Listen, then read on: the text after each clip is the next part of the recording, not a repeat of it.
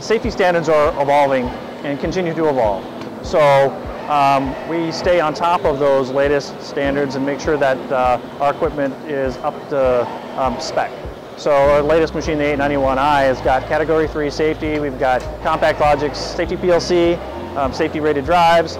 So we've really embraced safety and it's a combination of machines have to be safe, but you also have to be able to maintain productivity. And so by leveraging some common platform here to achieve the Category 3 safety, but also be able to provide the diagnostics and the information to the maintenance and, and staff to be able to make sure that the machine can maintain its uptime.